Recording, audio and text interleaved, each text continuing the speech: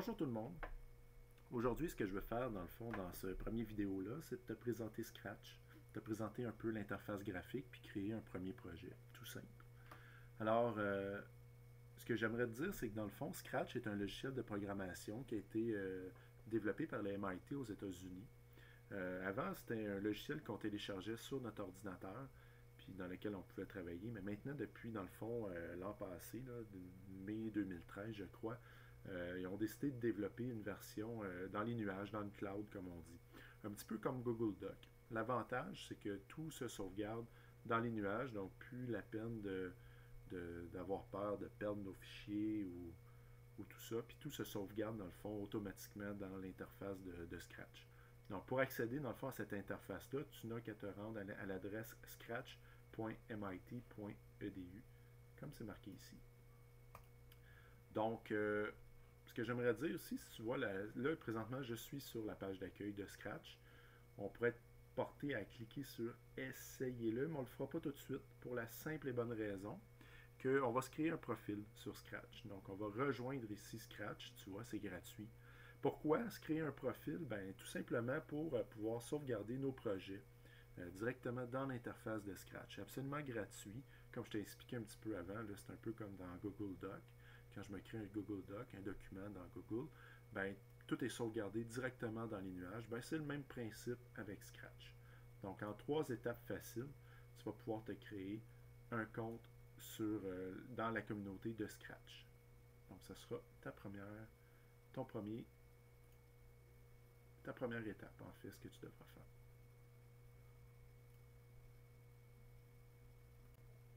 OK, maintenant que tu t'es créé un compte sur Scratch, ce qu'on va faire, c'est qu'on va se connecter. Donc, tu rentres tes informations, ton mot de passe, et on se connecte pour rejoindre l'interface dans laquelle tu vas pouvoir travailler. Tu vois que ça n'a pas changé beaucoup, à part en haut à droite. Tu vois, moi j'ai déjà une petite photo de moi.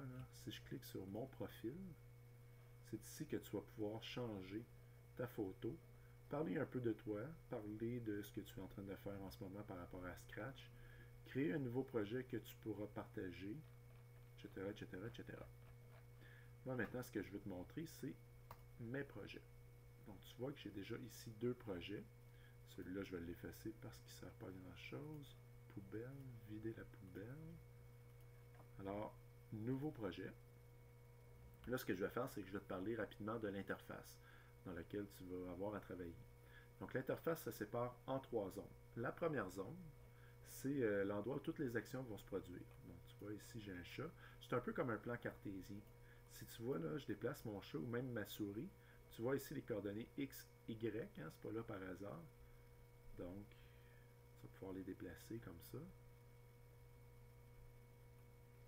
Donc, pour travailler dans un plan cartésien.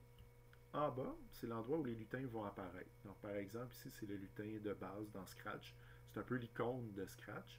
Euh, si tu veux ajouter des lutins, ben, tu cliques ici sur le petit lutin et tu vas avoir quand même euh, une belle panoplie. Tiens, Fantasy, je vais mettre euh, Pico.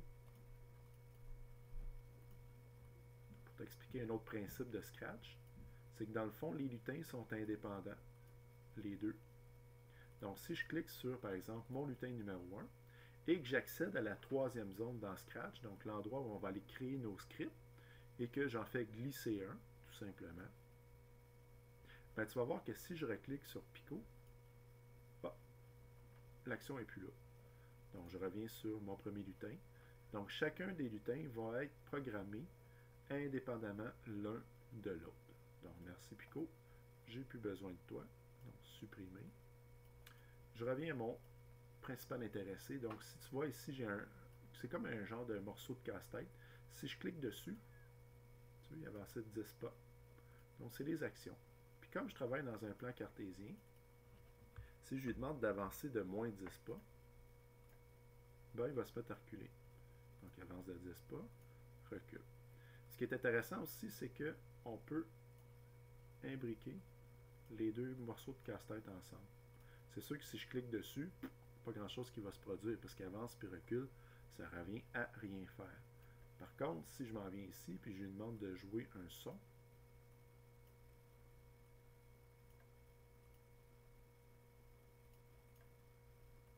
euh, faire un petit échange, on va jouer la grosse caisse puis la petite caisse claire après. On voit qu'il y a une action qui se produit.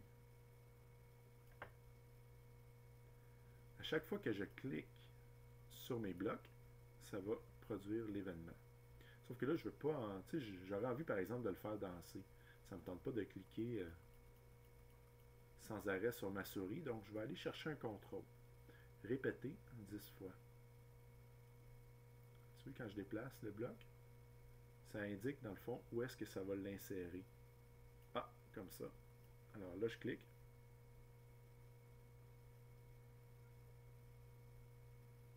Ça va répéter 10 fois l'action qui est compris entre les deux braquettes.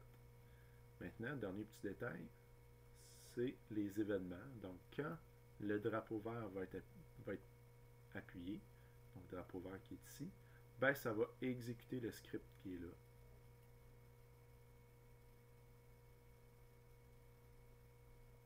Dix fois. Maintenant, dernière petite chose, on va le faire parler. Ici.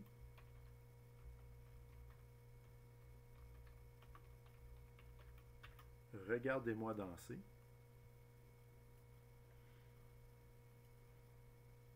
pendant deux secondes. Et le reste se produit. Tiens, juste pour s'amuser. Ajouter l'effet couleur 25. Ça fait changer de couleur notre lutin. C'est bien beau tout ça, mais là, présentement, il danse dans une zone qui, est blanche. C'est pas très intéressant. Donc, on va voir qu'on peut changer l'arrière-plan. Donc, c'est ici notre scène qui est là. Donc, si je clique sur Nouvel arrière-plan, choisir un arrière-plan dans la bibliothèque. On en a plusieurs. Château médiéval, non, pas vraiment. On va regarder les décors intérieurs. Tiens, on a une scène. Je peux m'amuser à descendre le chat sur la scène. en cliquant sur le chat, je suis arrivé dans le costume. Si ça se produit, très simple. On a juste à retourner dans le script. Et voilà. On a notre scène de notre chat qui est en train de danser. Ben, ça fait le tour un peu des, principales commandes, de la façon que Scratch fonctionne. Donc les, les, blocs qui s'imbriquent un dans l'autre. On a vu qu'on pouvait s'amuser à... Là, j'ai pas fait grand chose. J'ai juste travaillé ici avec mouvement, apparence, événement, et euh, contrôle. On voit qu'il y en a encore six autres à explorer. Pour le moment, je vais te demander de t'amuser à te créer une scène comme ça d'un chat qui danse ou n'importe quoi d'autre, quelque chose qui te passe par la tête pour euh, prendre en main un petit peu euh, le logiciel Scratch. Alors, amuse-toi.